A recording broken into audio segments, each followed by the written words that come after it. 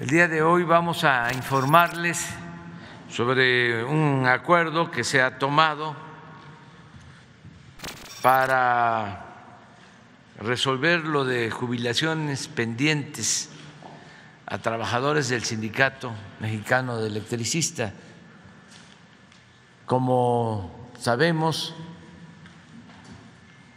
se liquidó, desapareció la empresa, la compañía de luz y fuerza del centro y se despidieron a más de 40 mil trabajadores y quedaron trabajadores eh, que no cumplían para entonces la edad de jubilación de 19 años de trabajo.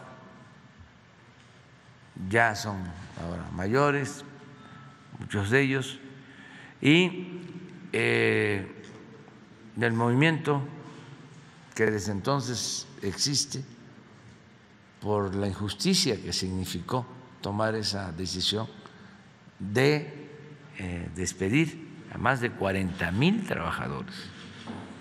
Todo esto en el marco de la política neoliberal, privatizadora,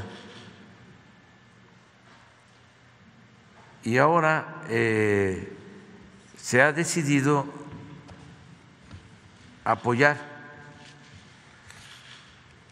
a eh, estos trabajadores.